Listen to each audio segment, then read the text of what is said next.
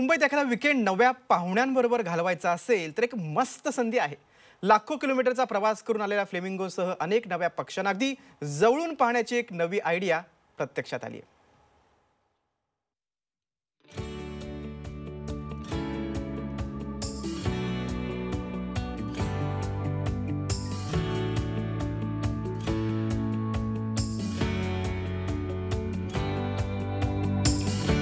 Bhandup pumping स्टेशनवर आलेले हे नवे पाहुणे. सध्या मुंबईकरांचं हे नवं विकेंड डेस्टिनेशन तुम्ही ईस्टर्न एक्सप्रेस हायवेवरून प्रवास करत असाल तर भांडूप जवळ हे सरप्राईज हमखास पाहायला मिळतं.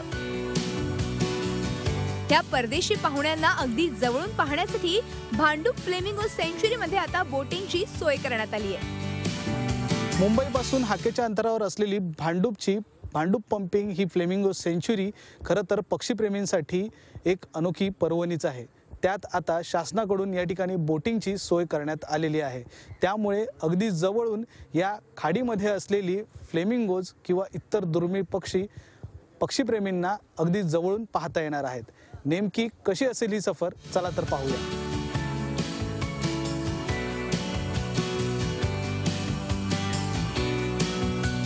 जानेवारी ते मार्च दरम्यान फ्लेमिंगो इथे राहायला येतात.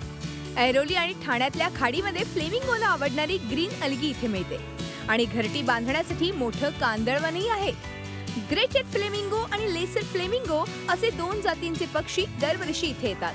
तांबूस रंगाचे बेबी फ्लेमिंगो तरुण असलेले पांढरे शुभ्र फ्लेमिंगो आणि ग्रीन अलगी खाल्ल्यावर गुलाबी फ्लेमिंगो अशी रंगपंचमी इथे पाहायला मिळते.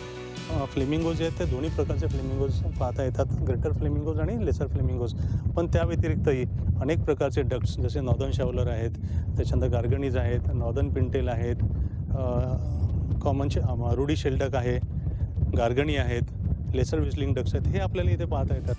फ्लेमिंगो व्यतिरिक्त सोन चिखली युरोपातून आलेला छोटा टिलवा आणि हिरवा टिलवा उचाट्या सायबेरियातून आलेल्या छोट्या चिखल्या आयलंडचा युराशियन कर्ल्यू ह्यांची इथं भेट होते.